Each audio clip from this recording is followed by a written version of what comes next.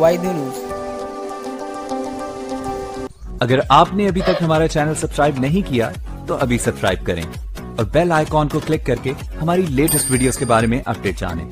Subscribe कीजिए। मेरे प्यारे दोस्तों पाक मीडिया की खबर आप तक पहुँचाने में बहुत मेहनत लगती है और आप जब सब्सक्राइब नहीं करते हो तो वीडियो बनाने का हौसला कम हो जाता है। कृपया सब्सक्राइब करें। अगर आपको कोई वीडियो गलत लगती है तो हमें कमेंट करके बताएँ। और पाकिस्तान को क्या मैसेज देना चाहते हैं? कमेंट में बताएँ। नल पाक, भारत, टाकरा, जिसमें पाकिस्तान से मेहमान मौजूद होंगे और भारत से भी सरहद पार से भी हमारे साथ मेहमान मौजूद होंगे। तो आज के प्रोग्राम का आगाज़ करती हूँ नाजरीन। किसी भी मुल्क की हुकूमत की अव्वलीन ज़िम्मेदारी और तरजीह क्या होती है आपके मुताबिक? यकीनन उस मुल्क में अमन की फ़ज़ा को बरकरार रखना। क्योंकि जिस मुल्क में अमन के चाँद को शिदत पसंदी या दहशत गर्दी का ग्रहण लग जाए, वो मुल्क अंदरूनी तौर पर कमज़ोर होने लग जाता है। पाकिस्तान भी काफ़ी अरसे तक इस शिदत पसंदी की लपेट में रहा। एक तवील अरसे तक पाकिस्तान ने दहशत गर्दों के खिलाफ जंग जारी रखी और इसी दौरान सिक्योरिटी फोर्सेस की मुलाकात कुलभूषण यादव नाम के आदमी से हुई, जिसका नाम कुलभूषण मुबारक पटेल था। साहब यहाँ जाहरी तौर पर, जाहरी तौर पर अगर कहूँ तो कारोबार कर रहे थे, लेकिन असल में इंडियन नेवी के हाजिर सर्विस ऑफिसर भी थे। अब हमारे मेहमान हैं। अब हमारे मेहमान हैं। हमारे मेहमान खाने में मौजूद हैं। पाकिस्तान दहशतगर्दी के खिलाफ ये जंग तो जीत गया, लेकिन हमारे पड़ोसी मुल्क भारत को देखें तो लग ऐसा रहा है कि जैसे इंतहा पसंदी को सरकारी और कानूनी हैसियत हासिल हो गई है। मोदी साहब ने जो शाइनिंग इंडिया बनाने का ख्वाब देखा था, वो अकलीतों के ख्वाब, उनके हकूक़, उनकी आज़ादी सब कुछ जला रहा है और दुनिया देख रही है। मोदी साहब के इसी शाइनिंग इंडिया को एक और एजाज़िया मिला कि अमरीकी कमीशन बरए मजहबी आज़ादी की 2019 की सालाना रिपोर्ट में भारत को पहली मरतबा अकलीतों के लिए ख़तरनाक तरीन मुल्क करार दिया गया। ये बात मैंने सिर्फ़ इसलिए कोच की क्योंकि पाकिस्तान और भारत के ताल्लुक हमेशा तनाज़ात का शिकार रहे, जिसकी बड़ी वजह बड़ी वजह भारत के ये इल्ज़ाम हैं कि पाकिस्तान भारत के अंदर दहशत गर्दी करवाता है और कुलभूषण पकड़ा पाकिस्तान से जाता है। भारत पाकिस्तान पर दहशत गर्दों की पनाह गाहें कायम करने का, कायम रखने का इल्ज़ाम लगाता है, लेकिन खुद भारत में एक मखसूस गिरोह इसके 20 करोड़, भारत के 20 करोड़ मुसलमानों के कत्ल की तैयारी कर रहा है। उनसे जीने का, रहने का हक भी छीन रहा है। और इसी रिपोर्ट में पाकिस्तान में कई मस्बत, पेशरफ्तों का बरमला एतराफ़ किया गया। कहा गया कि पाकिस्तान के करतारपुर राहदारी खोलने और पहली सिख यूनिवर्सिटी के जरा के इकदाम काबिल तारीफ़ हैं। कोई भी फ़र्द, हुकूमत या रियासत अपने अमल से पहचानी जाती है कि उसका आखिर बयानिया क्या है। पाकिस्तान अमन चाहता है, अम चाहता है। और हम ये बात अमली सबूत के साथ करते हैं प्रैक्टिकली सिर्फ़ बात नहीं करते। लेकिन भारत अमन की बात तो करता है, लेकिन खुद उसके अंदर कितना इंतशार फैल रहा है। क्या इसका जिम्मेदार भी वो पाकिस्तान को ठहराएगा? कैसे? यह हकीकत से मुँह मोड़ेगा? मकबूजा कश्मीर में जारी, तहरीक आज़ादी से नज़रें भी चुराने लगेगा। या अपने अंदर ही एहतजाज करते मुसलमानों की आवाज़ को दबा देगा? आलमी अखबार की शह सुर्खियाँ तब्दील करवाएगा भारत? या इन रिपोर्ट्स को सिरे से मुस्तरद करता चला जाएगा? क्या मुसलसल सीज फायर की खिलाफ वर्जी किया जाएगा? या फिर मुजाकर की, हम कह सकते हैं कि टेबल पर भी कभी आएगा, जो कि एक सोलूशन है कि मुजाकर कब आएगा मुजाकर की टेबल पर?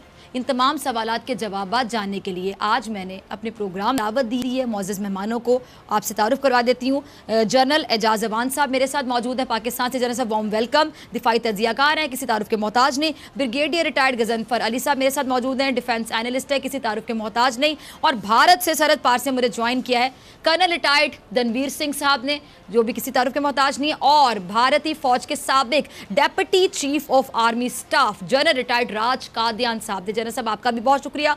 कर्नल धनवीर साहब, आपका भी बहुत शुक्रिया ज्वाइन करने के लिए। गुफ्तु का आगाज़ मैं करना चाहूँगी कर्नल धनवीर सिंह साहब आपसे। आपसे पहला सवाल, कर्नल साहब, भारत में में मुसलमान कैसे हैं? या आप कैसे उनके हालात को बयान करेंगे? एहतजाज क्यों कर रहे हैं? और अमेरिका को क्यों तशवीश हो रही है, कर्नल साहब? देखिए, आपने बहुत अच्छा प्रियम्बल दिया। और सबसे मज़ेदार बात यह है कि पाकिस्तान के इस नज़रिए को और इस प्रोपेगेंडा को सिवाय पाकिस्तानियों के और वो भी जो पढ़े लिखे पाकिस्तानी नहीं है, वो ही ज़्यादा उसको वैल्यू करते हैं। अदरवाइज़ दुनिया में इस प्रोपेगेंडा की कोई वैल्यू नहीं है, ये आपको भी अच्छी तरह मालूम है। और जिस अमरीकी रिपोर्ट का हवाला दे रही हैं आप माइनॉरिटीज़ के रिलेशन में, पहली बात तो हम लोगों ने उसको खारिज किया है। लेकिन फिर भी चलिए, क्योंकि आपके चैनल पे हैं तो मान लेते हैं कि वो ठीक होगी। उसमें आप अपना स्टेटस देख लीजिए कि पाकिस्तान का क्या स्टेटस है। और आज हम बात कर रहे हैं तो कल ही एक रिपोर्ट आई सिंध में, कैसे एक बच्ची को, हिंदू बच्ची को अगवा करके और कैसे उसको मुसलमान बना के और किसी लड़के से शादी कर दी। तो ये पाकिस्तान के अंदर एक आम हालात हैं। तो पाकिस्तान जब इस तरीके की बातें करता है तो ये एक मज़ाक सा लगता है क्योंकि पाकिस्तान के अंदर जो हालात अकलती अकलियतियों के हैं जो माइनॉरिटीज के हैं वो बहुत ही बदतर हैं। इस प्रकार से हमारे देश में हमारे मुल्क में ऐसे कोई हालात नहीं हैं। अगर आप चंद ट्विटर हैंडल्स की अभी भी आप कहेंगे साहब हालात है, नहीं है। मैं आपकी बात अगर को आप- अगर- इंटरप्ट नहीं करना चाह रही। मैं चाह रही हूँ कि तमाम मेहमान अपना अपना मौके पहुंचाएँ। नहीं नहीं आप नहीं नहीं आपको सुनना पड़ेगा। अगर आप कुछ ट्विटर चंद ट्विटर के बेसिस पे आप अपना प्रोग्राम कर रहे हैं तो मेरे ख्याल से सहाफी होने का आपको तगमा नहीं मिलना चाहिए आप बोलिए मैं आपको सुनना ही चाह रही हूँ। जी बोलिए ब्रिगेडियर गजनफर साहब आपसे जवाब चाहूँगी। जी कर्नल साहब। हाँ, जी, कर्नल तो ऐसा कीजिए। नहीं है और अच्छा होता तो अच्छा होता कि किसी बोलना मुसलमान झूठ कर्नल बोलना को झूठ बोलना लेते इनकी तो आदत जवाब और अच्छी तरह जो चीज़ों को डिनाई करना इनकी आदत है ठीक है, ब्रिगेडियर साहब। ये पैदा होते हैं तो ये जिस जगह भी जाते हैं इनकी अम्मा इनकी घुट्टी में ये पिला इनकी माएँ जो हैं इनकी घुट्टी में ये पिलाती हैं कि आपने दुनिया को डिनाई करना है झूठ बोलने है रियाकारी करनी है धोखाधड़ी देनी है रेप करने हैं जुल्म करने हैं। अब ये सिर्फ़ कश्मीर तक ये- महदूद ये नहीं आप है अपनी-। अपनी- अपनी इन्होंने कहा ना कि। लड़की को कन्वर्ट करके और उसको शादी करा ली। अब इन्होंने इन्होंने कहा ना लड़की को कन्वर्ट बात सुने। आपको मेरी काबुल मेरी Shut up, बच्चे अब मेरी बात सुनो। आप अब मेरी बात सुनो। अब मेरी बात सुनो। मेरी बात सुनो। मेरी बात मेरी फिजा इसको बंद करें मेरी बात सुने। जी ब्रिगेडियर साहब कंटिन्यू कर्नल साहब आप जरा बात तो सुन लीजिए ना ये उन्होंने आपकी बात बड़े से सुनिए आराम से सुनिए तो तो अपनी बारी पे बोलिए। इन्होंने तो मेरी बात सुने। इन्होंने ये झूठे आदमी तो ये मक्कार आदमियों की बात सुनेंगे ना। हैं, तो हैं कर्नल साहब आप उनकी बात तो सुनिए ना। आप बनाया आर्गुमेंट से बात कीजिएगा कर्नल साहब। अपनी बारी पर प्लीज़ इनके इनके फौजी इनके फौजी इनको गालियाँ देते हैं इनके फौजी इनको गालियाँ देते हैं और इनके फौजी इनको कुत्ता कहते हैं इनके अफसरों को। इनके फौजी इनको गालियाँ देते हैं। दूसरी बात यह है पहली बात फिजा मैं बताऊँ इन कर्नल साहब ने कहा कि एक हिंदू एक एक मेरी बात सुने अब मेरी बात सुने। फिजा मेरी बात सुने। इन्होंने ये कहा इस, शख्स ने ये कहा ये जिसको आप कर्नल साहब। कह रही हैं इन्होंने ये कहा कि जी आपने एक हिंदू लड़की को कन्वर्ट करवा लिया। है भाई तुम तो हो ही मुसलमानों की औलाद। और हमने तो हिंदू लड़की को कन्वर्ट करवाया ना। कर्नल साहब आपने तो आपने इल्ज़ाम लगाया ना आप उसका जवाब भी। तो सुनने ना जरा तहमुल के साथ फिर आपको मैं मौका दूँगी। तो- आप बोलिएगा। तो अच्छा एक मिनट। लड़की और को आज ये बेकार की बातें हम हमने हैं। कर्नल साहब आप तो सुन ही नहीं रहे। कर्नल कर्नल धनवीर सिंह साहब ये सच सुन नहीं सकते। ये झूठ की पैदावार है। आती। सिंह साहब आप सुन ही नहीं रहे। इस टाइम पे आपका मुल्क भी आपको देख रहा होगा आपका देश भी देख रहा होगा। पूरा पाकिस्तान आपको देख रहा है। पूरी दुनिया देख रही है बात भारत टाकरा बोल न्यूज़। आप ज़्यादा गोबर आप बात ही नहीं सुन रहे कर्नल साहब ये वो लोग हैं जो। मूत्र की इज़्ज़त करते हैं। ये वो लोग हैं जो जुल्म करते हैं। अच्छा ब्रिगेडियर साहब आप भी जरा खामोश ब्रिगेडियर साहब मेरी आपसे रिक्वेस्ट है। कर्नल जो तो मेरी नहीं सुन रहे ब्रिगेडियर गजनफर साहब आप जरा सुन लीजिएगा। एक मिनट। ब्रिगेडियर साहब एक मिनट। बच्चों को मारते हैं। ठीक है मेरी बात सुनिए पूरी। मेरी। फिजा मेरी बात सुनिए। एक मेरी बात का जवाब लीजिए फिजा। एक मेरी बात सुनिए। इस इन्होंने ये कहा कि जी हमने लड़की को कन्वर्ट कराया। और इन्होंने तो इंदिरा गांधी की शादी करते हुए मर्द को कन्वर्ट करा दिया था झूठ तो देखें इनका ये तो पैदावार ही मुसलमानों की है। उसका नाम फिरोज गांधी रख लिया था। फिरोज का नाम फिरोज गांधी रख दिया था। तो ये तो ये तो पैदावार ही मुसलमानों की ये किस तरह कह सकते हैं हम झूठ बोलते हैं? डॉक्टर फिजा आपके ब्रिगेडियर हेलो। ठीक है चले चले तो ब्रिगेडियर साहब ठीक है। अब मैं तो- बाकी मेहमानों को शामिल है गुफ्तगू करती हूँ आप दोनों की तरफ़ फिर आऊँगी अभी प्रोग्राम में बहुत वक्त बाकी है हमें मैं आपको दोबारा मौका दूँगी। जी तो। जनरल राज कादियान साहब। फिजा, आप कश्मीर की बात भी करते हैं ब्रिगेडियर साहब। अब मैं बाकी दोनों मेहमानों को जरा मौका दे दूँ। दोनों मेहमान बिल्कुल खामोश हैं। जनरल एजाज अवान साहब जनरल राज कश्मीर की साहब उन बात- दोनों को भी शामिल हूँ। आप दोनों की इजाज़त से अगर आप लोग मुझे मौका दें। फिजा, मेरी एक बात सुन लीजिए। मेरे एक बात सुन लीजिए फिजा इन ये तो मुसलमानों को कन्वर्ट कराते राजीव गांधी मुसलमान की पैदावार इंदिरा गांधी को उठा के देख ले किस किस से ताल्लुकात रहे। नेहरू को अच्छा ब्रिगेडियर साहब अब आपके जहन में जो पॉइंट है आप लिख लीजिए मैं आपको मौका दूँगी किसी पे बात कंटिन्यू करेंगे जनरल राज कादियान साहब। जनरल साहब जनरल साहब जनरल साहब ब्रिगेडियर साहब एक मिनट ब्रिगेडियर साहब मुझे मौका दें। कर्नल सिंह साहब मुझे जनरल राज कादियान को शामिल करना। है। है जनरल अब आपकी तरफ़ आ रही हूँ। पहले मुसलमानों पे लव जिहाद का इल्ज़ाम लगाया गया। अब भारत में मुसलमानों को कोरोना जहाद के नाम पर तशद का निशाना बनाया जा रहा है। ऐसी ऐसी चीज़ें हमारे सामने आ चुकी है। ऑन रिकॉर्ड अब तो यूपी पे तमाम चीज़ें आ जाती हैं जाती हैं। कुछ छुपा नहीं सकता। मुझे बताएँ कि अब आपके देश में तो कोरोना भी जो फैल रहा है? मुसलमान फैला रहे हैं। ये किस किस्म की नफ्सियात है जनरल? साहब जरा समझा दें। कोरोना तो पूरी दुनिया में फैला हुआ है। डॉक्टर फिजा काफ़ी लंबे अरसे के बाद आपके प्रोग्राम पे आए हैं बड़ा अच्छा लग रहा है। और मैं अभी भी फिर उम्मीद ज़ाहिर करता हूँ कि दोनों पड़ोसी मुल्क जिनमें बहुत सारी समानताएँ हैं रहन सहन की लैंग्वेज की खाने पीने की रिश्तों में सुधार आए और ये बॉर्डर खत्म हो जाए लेकिन हमारी ज़िंदगी में ऐसा शायद नहीं होगा।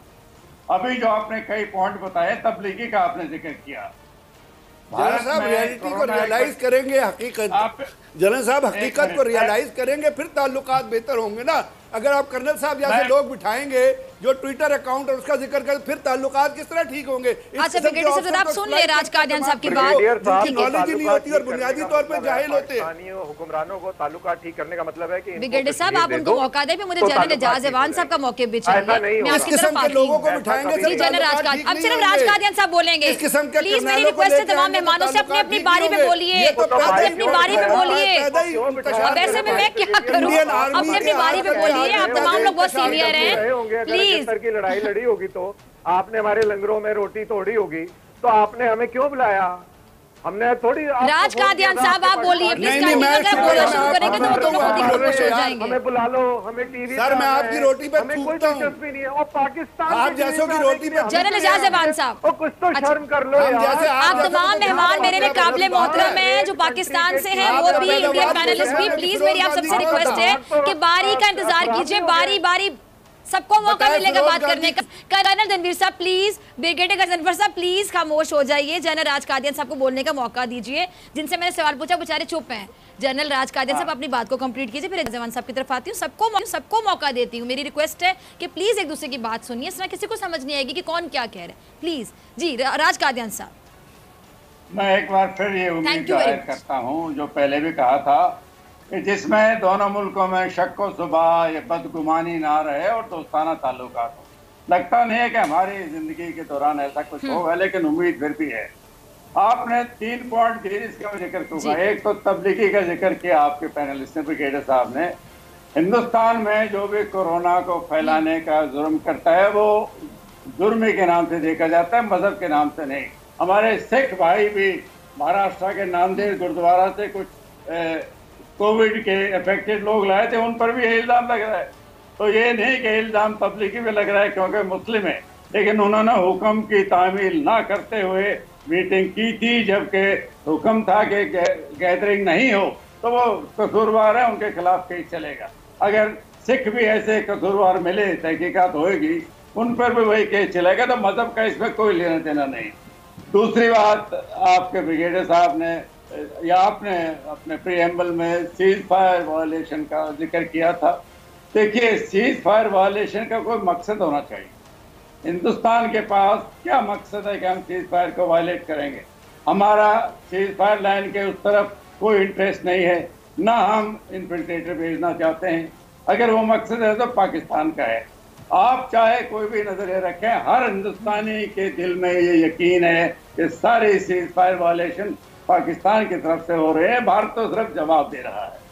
दूसरा आपने यादव का भी ज़िक्र किया, कुलभूषण का। फिर वही पूरा हिंदुस्तान इस बात को मानता है कि वो एक रिटायर्ड नेवल ऑफिसर था, जिसको पाकिस्तान ने ईरान से पकड़ के ले आया, उस पर झूठा इल्ज़ाम है। आप चाहे उसको माने ना माने वो अलग बात है। इंटरनेशनल कोर्ट ऑफ़ जस्टिस ने भी आपको कहा है कि आप इसकी दोबारा तहकीकात करवाएँ। रीचेकिंग वो आप डॉक्यूमेंट पे सर इस तरह डिनाई ना करें। उसका नाम मुबारक सर, पटेल। डिनाई ना करें। आप आप कुछ जनरल बता ऑफिसर दें। हैं आप हकीकत को पहले तो ये बताएँ ना, ब्रिगेडियर साहब ने पहले तो deny मुझे ना पूछते थे कि वो कुलभूषण यादव है, मुबारक पटेल है। he is a serving naval इतना झूठ तो ना बोले ना। नहीं झूठ बोलने से तो काम नहीं होगा सर इस चीज़ को हकीकत को एक्सेप्ट करें। कि नेवल ऑफिसर नेवल ऑफिसर पूरी सिचुएशन आपके सामने मुझे ये बताइएगा अब कुलभूषण को भी ये भी इल्ज़ाम से पीछे नहीं हट रहे कि कुलभूषण कैसे पाकिस्तान में नेवल जासूस है? वो जासूसी करने आया था आपको और हमारा मेहमान बना हुआ पकड़ा वैसे हमने अब बताइए अगर ये इस तरह की बात नहीं करें। कुलभूषण वाली बात पे भी हो तो क्या बात की जाए? अगले He is उसने झूठ बोलते हो, serving naval officer. कबूल चुकी है और He is a serving naval officer. Don't tell lie. को भी पता है. जवान साहब झूठ मत बोलो। इस तरह आप तीनों बात झूठ करेंगे तो मत एजाज जवान बोलो। साहब कैसे बात झूठ करेंगे? बोलते हो रियाकारी करते हो। धोखाधड़ी करते हो। अगले प्रोग्राम में ब्रिगेडियर गजनफर और कर्नल धनवीर सिंह आप दोनों के अलावा कोई नहीं होगा। ठीक है? ये मैं आप दोनों से वादा करती हूँ। अगला ही उससे अगले प्रोग्राम में आप दोनों होंगे। मेरे ख्याल से दो गेस्ट बहुत होंगे। हमें चार गेस्ट की ज़रूरत नहीं होगी आप दोनों के लिए। आप दोनों का टाकरा। अच्छा एजाज जवान साहब को मैं शामिल गुफ्तु करना चाहती हूँ। एजाज जवान साहब, अगर यही सिचुएशन है कि कुलभूषण के मामले पर भी जनरल साहब ने क्या मौके दिया? जनरल राज कादियान साहब ने। उस पर अब आप क्या कहेंगे? कुलभूषण किस तरह पाकिस्तान में आया? कैसे जासूसी कर रहा था? कैसे पकड़ा गया? अब इस पर भी इनकी राय हमसे मुख्तलिफ़ कैसे हो सकती है? मुझे तो आज तक ये चीज़ समझ नहीं आई। Doctor thank you very much देखिए जनरल राज कादियान साहब बड़े सीनियर जनरल हैं और बड़ी अहम पोजीशन पे रहे हैं। लेकिन अगर वो एक ऐसी पोजीशन ले रहे हैं एक No में जा रहे हैं तो चलो वो तो हमारी कस्टडी में है। Court international court court of justice में भी वो केस ट्रीट किया जा चुका है। वहाँ से भी उनको रिलीफ नहीं मिली। तो दोनों कंट्रीज़ में एक पोजीशन है। देखिए मसाइल तब हल होते हैं। जब किसी भी मसले का इतराक कर लिया जाए उसको एक कॉन्टेंशियस इशू या एक हल तलब मामला तस्लीम कर लिया जाए तो फिर आगे बात बढ़ती है। जनरल राज का ध्यान की आई रिस्पेक्टिव वो ये कह रहे हैं कि मसाइल हल होने चाहिए। यकीनन हर बाशूर आदमी कहेगा कि मसाइल हल होने चाहिए। ये लकीर को मिटाना या बॉर्डर लकीर नहीं है। दो रियासतें अपना वजूद कायम अच्छा रखते साहब आपकी आवाज़ का इशू आ रहा है। अ, मैं पैनल से रिक्वेस्ट करती हूँ ज़रा इस इशू को फिक्स कीजिए तब तक मैं धनवीर सिंह साहब आपकी तरफ़ आती हूँ। और फिर जनरल एजाज साहब को दोबारा ज़रा लाइन पर लीजिएगा रजा। धनवीर सिंह साहब आपकी तरफ़ आती हूँ। अब सिंपल सवाल मैं पूछना चाहूँगी इस सिचुएशन को खासतौर पर फेस करने के बाद जो भी हुआ आप लोग अमन चाहते हैं या अमन ही नहीं चाहते? देखिए अमन की डोर जो है वो पाकिस्तान के हाथ में है। अगर पाकिस्तान अमन चाहे तो ये अच्छा। दिनों के अंदर जो है अमन जो है हासिल हो जाएगा। और अगर वो ये सोचे की वो दहशतगर्दी रहे। करता रहेगा डोर हमारे पाकिस्तान क्या कर रहा है मुझे बताएँ? ब्लैकमेल करेगा। धनवीर सिंह साहब इस टाइम भारत के अंदर क्या हो रहा है आपकी अकलियतों के साथ? पाकिस्तान में तो ऐसा कुछ नहीं हो रहा। की आपके यहाँ जो आपके आपके बड़े बड़े मिनिस्टर्स ऑन रिकॉर्ड ये चीज़ें आ चुकी कि वो जलसे में खिताब करते हुए कह देते हैं मुसलमानों के बारे में कुछ भी। तो कर्नल साहब इतनी सी, सी, मतलब सीनियर पोस्ट में बैठ के जहाँ आपकी रिस्पॉन्सिबिलिटी आम बंदे से ज़्यादा बढ़ जाती है वहाँ पे खड़े होकर इस तरह की बातें कर देना फिर अमन की बात आप कर रहे हैं फिर आप साथ पाकिस्तान की वजह से अमन नहीं हो रहा है ये तो बड़ा इल्ज़ाम लगा रहे हैं मेरे आप। मुल्क में मेरे मुल्क में लॉ का बहुत इंपॉर्टेंट रोल रहता है चाहे कोई कुछ भी बोलता रहे हमारे यहाँ कॉन्स्टिट्यूशनल लॉ सुप्रीम है और वो मैटर करता है। बाकी इधर उधर किसने क्या बोला ट्विटर पे क्या भेजा आपको किसी ने व्हाट्सएप क्या कर दिया उसका कोई वैल्यू नहीं है उसकी कोई मान्यता नहीं है। बट मेरे को आप ये बताइए कि जिस प्रकार से आप सिंध में मैं व्हाट्सएप की बात भी नहीं कर रही। अगवा करके आप चीज़ें मुसलमान बनाते हैं record आ चुकी है, उनकी बात कर रही हूँ। और एफ़ आई आर लॉज नहीं होती। है- एक वो मियाँ मिट्टू में जो ये सर्टिफिकेट जारी होते हैं। मेरी बात। बारे में कुछ अच्छा एक मिनट एक? मिनट एक मिनट। कर्नल साहब एक सवाल फिर मैं कि आती हूँ एजाज जो जवान साहब को लाइन पे लीजिए रजा जल्दी।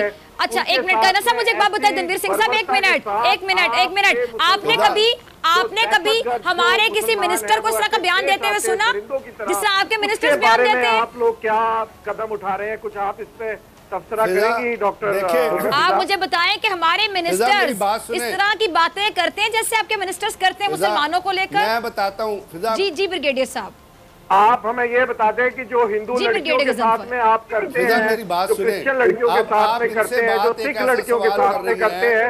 वो आपके यहाँ कहाँ पर करते हैं? होगा या उसको क्या बातें कर रहे हैं आप? सुप्रीम कोर्ट और फौज की तरफ़ से आशीर्वाद मिला हुआ है फिजा फिजा आप इनसे वो सवाल कर आप रही जवाब सुने ना कर्नल साहब अपनी बातों का जवाब सुने थे रही जी ब्रिगेडियर अकल का सवाल है। ये, ये आप इनसे वो सवाल कर रही है।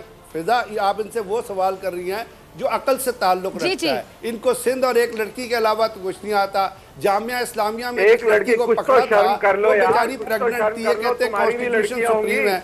सुप्रीम तो कोर्ट ने सुप्रीम कोर्ट ने उसको छोड़ दिया।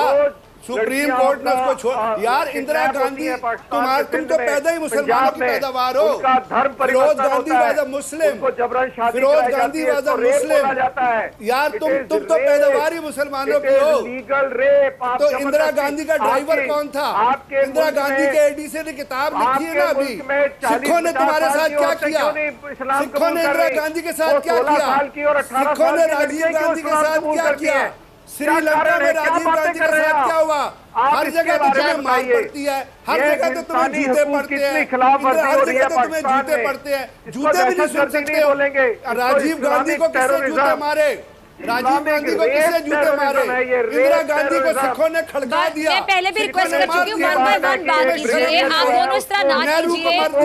ब्रिगेडियर गजनफर साहब कर्नल सिंह साहब दिया। कर्नल साहब ब्रिगेडियर साहब तुमने पॉइंट ब्लैंक रेंज पे आरएसएस ने गांधी को मार दिया तुम्हें शर्म नहीं आई। की बात है नागालैंड में तुम्हारे फौजियों को मारा तुम्हें शर्म नहीं आई। चलो मुझे ब्रेक में जाना है मुझे ब्रेक में जाना। है ब्रेक से आने के गुफ्तगू को, यहीं से कंटिन्यू करेंगे। ब्रेक में मैं रिक्वेस्ट करती हूँ दोनों मेहमानों की कि प्लीज़ बाकी दोनों मेहमानों का भी ज़रा ख्याल करें। और इस तरह फिर बात नाजरीन को समझ नहीं आती। ब्रेक के से आने के बाद यहीं से गुफ्तगू को कंटिन्यू करते हैं।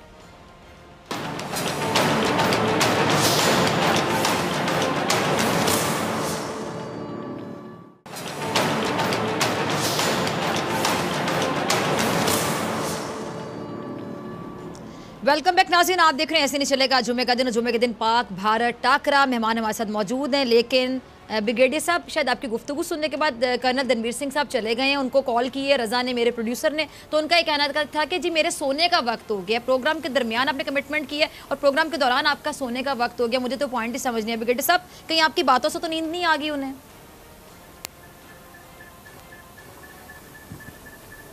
नहीं, मैं तो उसकी बातों को बड़ा लॉजिकली बताना चाहता था और मैं सिर्फ़ ये कहना चाहता हूँ कि चले आप हमारी तरफ़ से कह दें कि ट्विटर सोशल मीडिया अकाउंट है कोई ट्विटर अकाउंट है। अब वाशिंगटन पोस्ट के आर्टिकल उठा के पढ़े न्यूयॉर्क टाइम्स के आर्टिकल उठा के पढ़े। अभी एक अमेरिकन टेलीविज़न चैनल है सी जे पोस्ट उसने एक इंडिया के बारे में इंडिया के बारे में मूवी बनाई है। और उस पर जब वो मूवी शुरू करते हैं वो क्या कहता है? कहता है world holds its breath rise of another Hitler उसके साथ इंडिया को जलते हुए दिखाते हैं वहाँ के वो सीन दिखाते हैं और फिर उसके बाद सीधे पोस्ट के ऊपर आरएसएस की और नरेंद्र मोदी की तस्वीर चल रही होती है। दुनिया उसको हिटलर कह रही है। उस मूवी में कहता है कि India is in the grip of extreme fascism जहाँ पे रेप हो रहे हैं जहाँ पे लोगों को मारा जा रहा है जहाँ पे हाँ। जो माइनॉरिटीज है उसको तो रहने की इसको क्या सिंह कह देंगे ये व्हाट्सएप वीडियो है? पे जुल्म हो रहा है हैं व्हाट्सएप वीडियो की बात कर रहे हैं कौन सी व्हाट्सएप वीडियो मैं अपनी बात नहीं कर रहा। हाँ ये पूरी दुनिया में ये वीडियो चल रही है। मैं- उसके साथ साथ यूएन कमीशन की रिपोर्ट Exactly, पूरी दुनिया में ये- ये चीज़ें हाईलाइट हो रही हैं कि भारत में क्या हो रहा है। तो ये कहना देखिए ना इंसान ने जब आपने जब आपने जब लॉजिक पे नहीं जाना आपने फैक्ट्स को डिनाई करना आपके मुल्क में जो चीज़ें हो रही हैं वो हकीकत नहीं रखती मेरे लिए इसलिए कि वो उस तरह हो रही हैं जिसको आप अपनी नज़र से देखते हैं। आप इंडिया की साठ डिस्ट्रिक्स में इंडिपेंडेंस मूवमेंट चल रही है 1964 से। वहाँ पे आर्म फोर्सेस पे इन्होंने arm forces special power power act जो है 1958 पे पास किया था।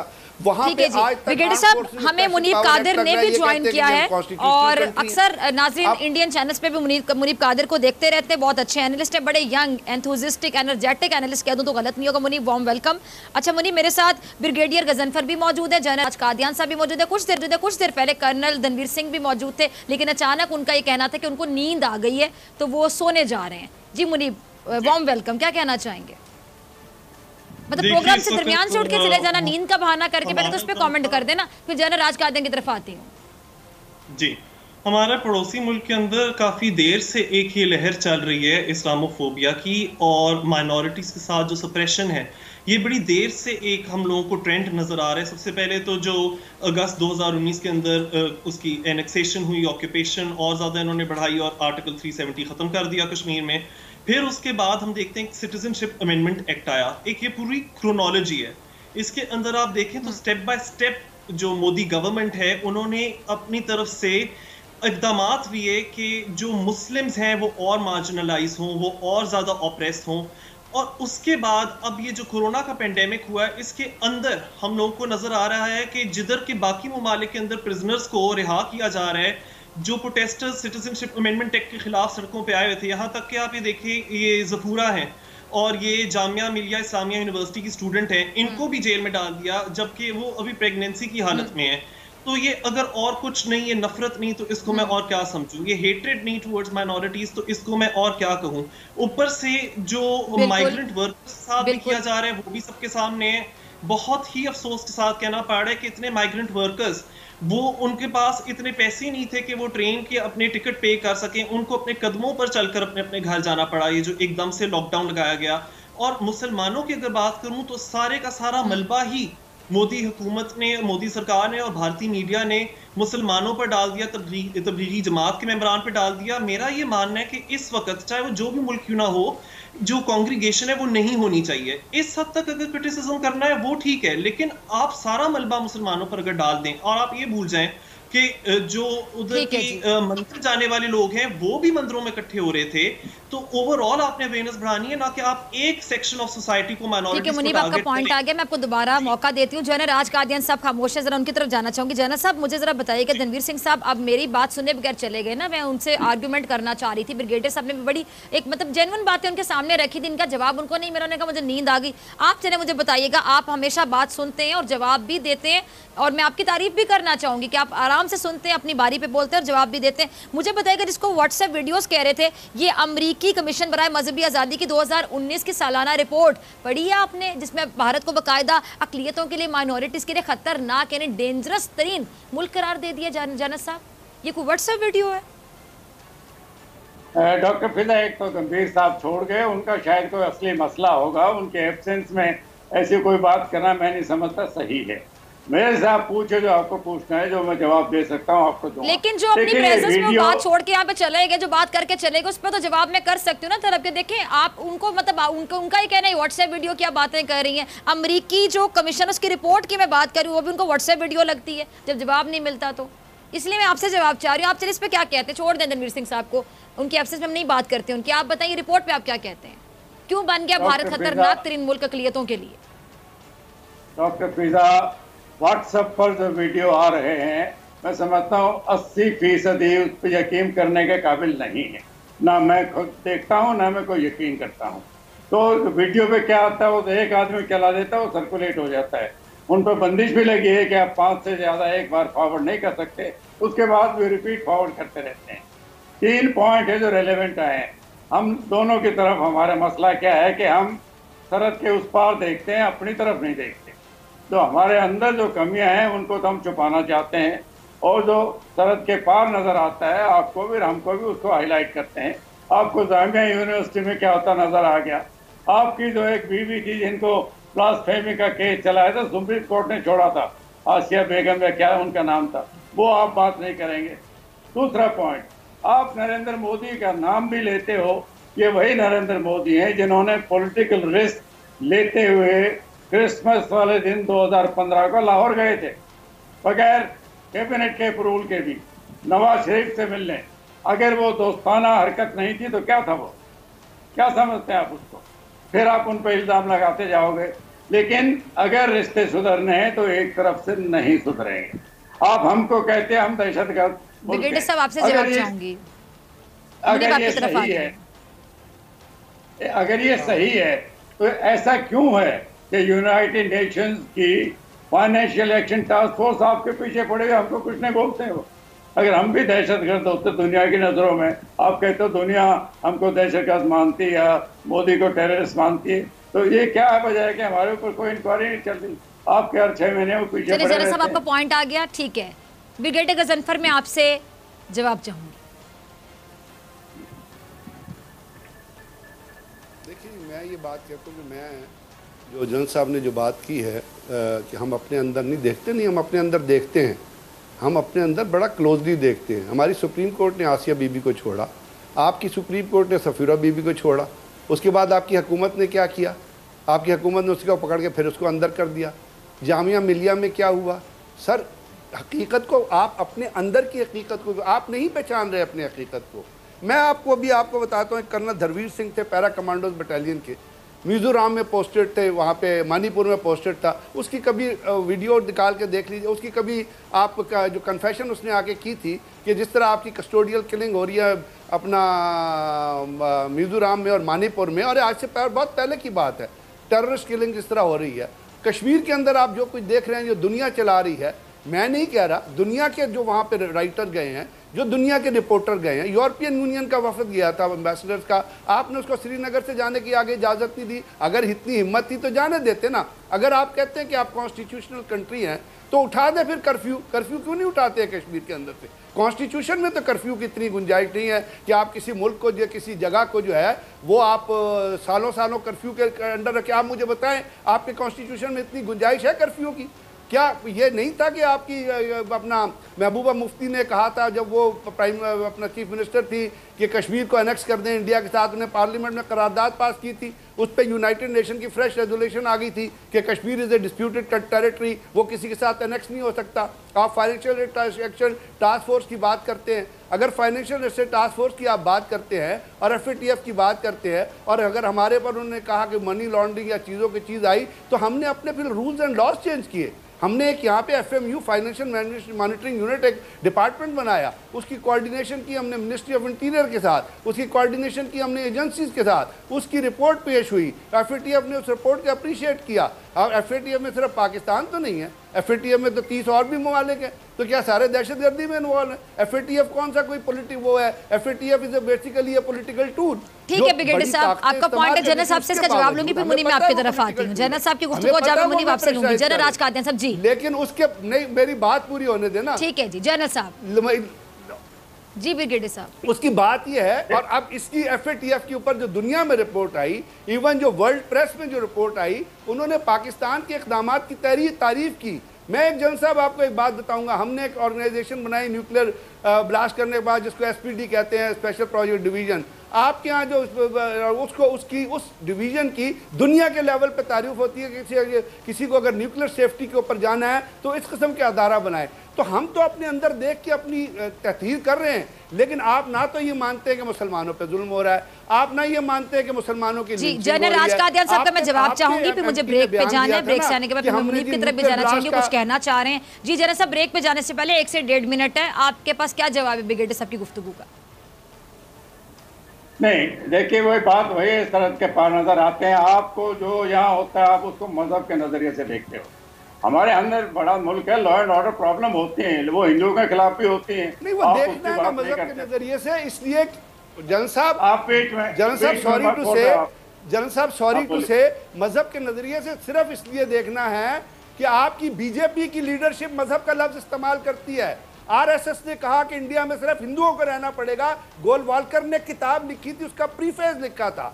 अभी आपके बीजेपी के लीडर कहते हैं और गुंडे कहते हैं कि जिसने इंडिया में रहना वो मुसलमान हो अदरवाइज़ उसको मार मार के हम दुर्गत निकाल देंगे। तो ये तो आपके लोग कहते हैं मैं नहीं कह रहा। ये आपके अंदर से आवाज़ें उठती हैं बीजेपी के गुंडे ये आवाज़ उठाते हैं वो अपना आरएसएस की लीडरशिप की आवाज़ उठाती है। आपके छत्तीस हज़ार शाकाज हैं जहाँ पे आप दहशतगर्द की फौज ट्रेन करते हैं। वो दहशतगर्द था जिसने अपना गांधी साहब को मारा था। जी तो जो हिंदुत्व मेंटालिटी है मतलब मैं तमाम हिंदुओं को नहीं कह रही बहुत से लोग बड़े अच्छे तरीके से वहाँ पे चल रहे हैं मुसलमानों के साथ। लेकिन जब आप इस तरह की दहशत गर्दी वाली सोच या इंतहा पसंदी शिदत पसंदी वाली सोच को कानूनी रंग दे दें वहाँ पे आपके पार्लियामेंट में भी यही बातें हों।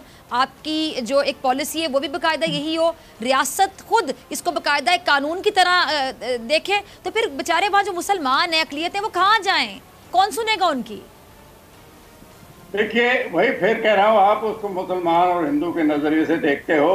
ये 370 हमारे कॉन्स्टिट्यूशन में एक टेम्परेरी प्रोविज़न था। उसको कभी न कभी तो हटाना ही था। पार्लियामेंट में बाकायदा डिस्कशन हुई है पार्लियामेंट ने डिसीज़न लिया है जो सबसे बड़ी बॉडी. मुल्क में। ना यू कैन पार्लियामेंट का डिसीज़न है पाँच अगस्त पिछले साल का चलो मुझे ब्रेक पे जाना ब्रेक से आने के बाद ही पार्लियामेंट की जो बात कर रहे हैं डिसीज़न की बात करें जनसभ से जवाब आप लूँगी कि फिर किसी मुल्क में अगर आप कहते हैं जनसभ बड़ा देश है बड़े देश में ऐसा होता ही रहता है तो बड़े देश की डेफिनेशन क्या ये है कि वहाँ पे अकलीतों पर जुल्म होगा अकलीतों को सफ़र करना पड़ेगा तकालीफ उठानी पड़ेंगी तकालीफ बर्दाश्त करनी पड़ेंगी। फिर आप लोग अपने आप को सेकुलर इंडिया क्यों कहते हैं? सेकुलरिज्म क्या होता है? सेकुलर की डेफिनेशन क्या होती है? आप इंडियंस जरा गूगल करें और पढ़ के देख लें। ब्रेक के बाद मिलते हैं।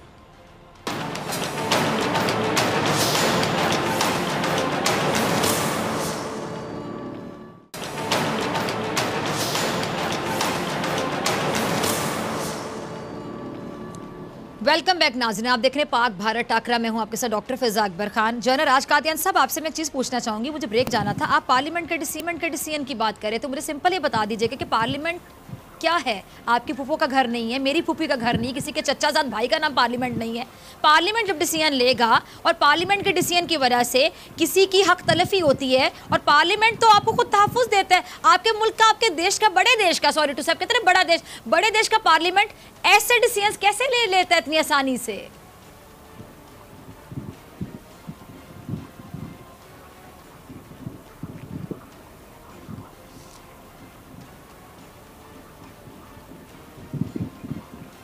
जनरल राज कादियान साहब आपको आवाज़ आ रही है? जनरल साहब हाँ, आपने पार्लियामेंट के डिसीज़न की बात की थी ब्रेक से पहले। हाँ हाँ।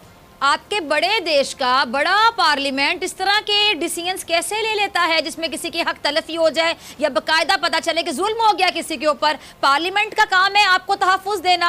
आपका पार्लियामेंट इस तरह के कानून जो है वो पास कर देते हैं। और पार्लियामेंट के डिसीज़न के बाद आप देख रहे हैं कि किस तरह एहतजाज कर रहे हैं। लोग मुझे बताएँ आप उस डिसीज़न को कैसे डिफेंड कर सकते हैं?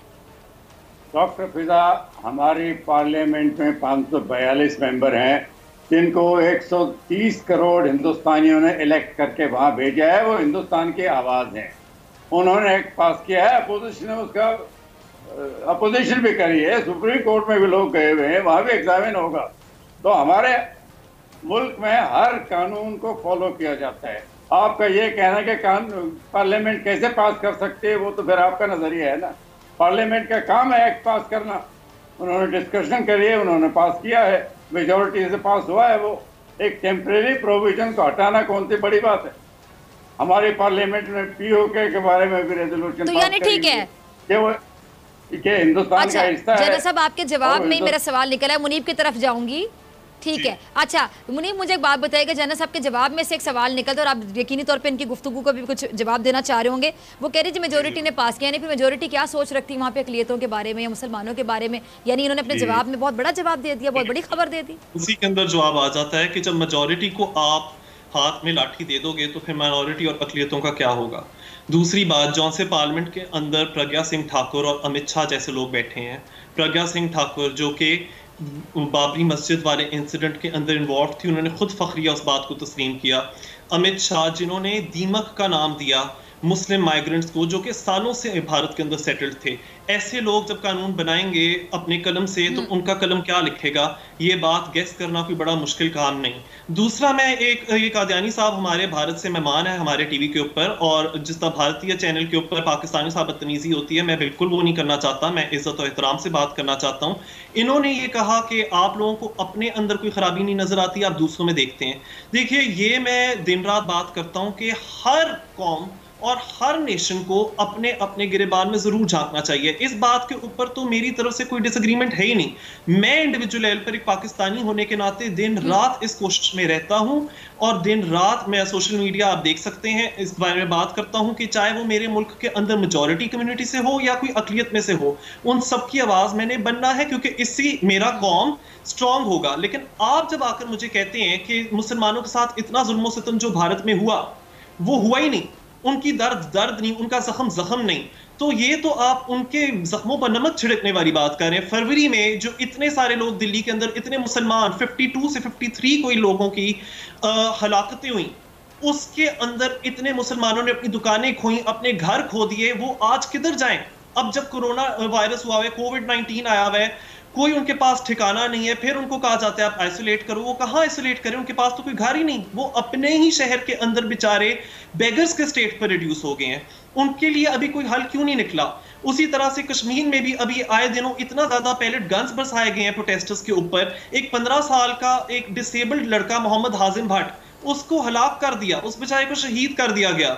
उसी तरह से आपकी मीडिया बैठती है और सिर्फ़ पाकिस्तानियों या मुसलमानों के बारे में नहीं बल्कि अपने ही जो से पॉलिटिकल लीडर्स हैं जैसे कि कांग्रेस पार्टी की सोनिया गांधी अर्नब गोस्वामी उधर बैठता है उसको इटालियन कहते हैं नफरत से बात करता है। एमी तो अर्नब गोस्वामी के ऊपर एफआईआर नहीं कटा हुआ फिर आप ये देखिए कि योगी आदित्यनाथ वो अब चीफ मिनिस्टर है वो कर क्या रहा है? कोविड हॉटस्पॉट्स जो कोरोना वायरस के हॉटस्पॉट्स हैं जो भी उसके इलाके में उसने उनको मुसलमानों की मस्जिदों का नाम दे दिया है ताकि लोगों को ये तासुर पड़े कि जैसे कि सिर्फ़ मुसलमानों को ही कोरोना है और जैसे मुसलमान ही सिर्फ़ कोरोना को कैरी कर रहे हैं तो जब आप ये कहते हो कि नहीं अकियत तो बिल्कुल ठीक है हमारे मुल्क में उनको तो कोई इम्प्रूवमेंट की ज़रूरत ही नहीं तो आप वहीं के वहीं उनके हकूक को सप्रेस करना चाह रहे हैं दबाना चाह रहे हैं इससे बढ़ के और कोई ज़्यादा जुल्म हो नहीं सकता।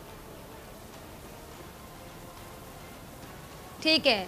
अच्छा जी मुनीब की सारी बातें जनरल साहब आपने सुनी। अब टाइम की कमी है तो मैं आपसे सवाल नहीं पूछूँगी। मुनीब की बातों का क्या जवाब है आपके पास? वहाँ पे मुसलमानों के साथ अगर ये हो रहा है उनकी मसाजिद के साथ इस तरह किया जा रहा है तो मुझे बताएँ कि आप कहते हैं कि वहाँ पे जमहूरियत भी है वहाँ पे आज़ादी है मज़हब के लिहाज से सेकुलरिज्म की भी आप लोग बात करते हैं? कैसे जनरल साहब? अ, ब्रिगेड साहब इसके बाद आपकी तरफ़ आ रही हूँ। इसके बाद डॉक्टर ब्रिगेड साहब आपकी तरफ़ ही आऊँगी। जी अगर आप अपना पॉइंट देना चाहते हैं जी बिल्कुल बिल, बिल, जी। आपने जो ब्रेक के बाद सवाल पूछा था मुझे जी, बस साहब। सुना जो आपने ब्रेक के बाद सवाल पूछा था मेरे को पहला आप सुनाई नहीं दिया था। तो आपका ये कहना है कि मैं शायद जवाब नहीं देना चाहता वो अच्छा। मेरे ख्याल से सही नहीं मुझे किसी किस्म की झिझक नहीं है। फिर बात नहीं नहीं है, मैंने बिल्कुल सिर्फ- आप मैंने कहा आप नहीं सुन पाए मेरी बात मैंने फिर दोबारा आपके लिए आपको याद होगा सवाल दोहराया था जनरल साहब फिर आपने उस सवाल का जवाब मुझे दिया था। जी। जो जो भी हो गया।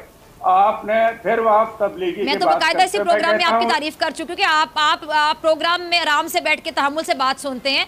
धनवीर सिंह साहब को नींद आ गई वो चले गए ना जनरल साहब?